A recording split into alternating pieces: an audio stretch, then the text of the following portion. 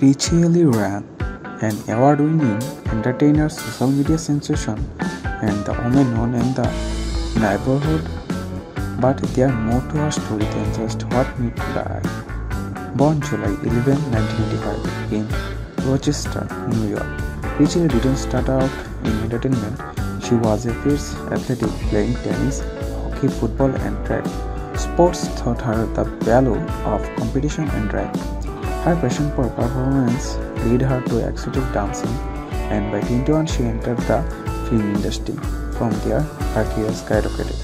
Known for her stunning looks and confident personality, Richelle quickly became a fan favorite, gaining a massive following on social media.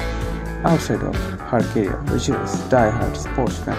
She's worked with Bristol Sport and often shared her love for the game with her followers.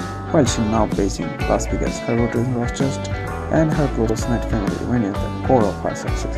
Throughout her career, she's worked alongside stars like Richie Red.